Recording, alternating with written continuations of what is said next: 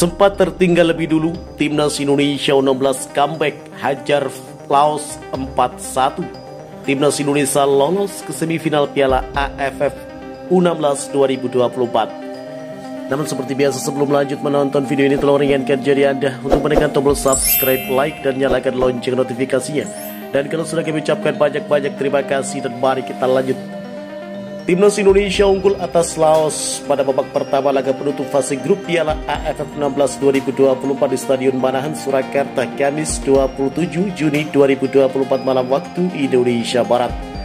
Sama seperti laga melawan Singapura dan Filipina, Timnas Indonesia 16 mencoba bermain menyerang, sementara Laos menghadapi dengan serangan balik dan kecepatan.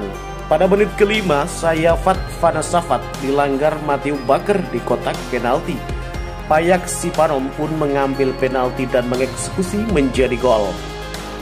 Setelah tertinggal 0-1, tim Merah Putih berupaya mempertahankan permainan menyerang. Zahabi Goli dan kawan-kawan tak mudah membongkar pertahanan lawan. Sebaliknya ada kesalahan-kesalahan yang dilakukan timnas Indonesia membuat Laos memiliki peluang merengsek ke kotak penalti tuan rumah Indonesia. Pada menit ke-23, Goli dilanggar Kimon Kanyah di kotak penalti Goli yang menjadi eksekutor membuat skor imbang menjadi satu sama. Pertandingan Indonesia versus Laos berlangsung cukup sengit. Tuan rumah terus mencoba menyerang sementara Laos berupaya menyerang balik dengan efektif.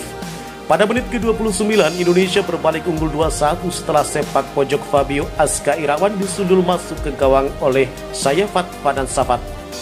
Timnas Indonesia 16 memperlebar keunggulan menjadi 3-1 berkat sundulan Jos Holong pada menit ke-38 Lemparan ke dalam yang jauh dari Fabio Askairawan membuat situasi kebelut dan dituntaskan oleh Jos. Fabio kembali mengirim asis pada masa injury team. Tendangan bebasnya pada menit ketiga injury team membuat bola mengarah ke Putu Panji dan gol hadir dari sundulan sang kapten timnas Indonesia U16.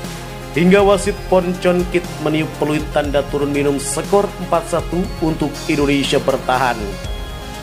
Di babak kedua, timnas Indonesia diprediksi bakal menambah pundi-pundi gol dan dengan hasil ini, timnas Indonesia dipastikan lolos ke semifinal Piala AFF 16 2024. Untuk hasil akhir pertandingan antara timnas Indonesia 16 versus Laos, kami akan mengupdate-nya di thumbnail dan deskripsi video kami. Salam olahraga!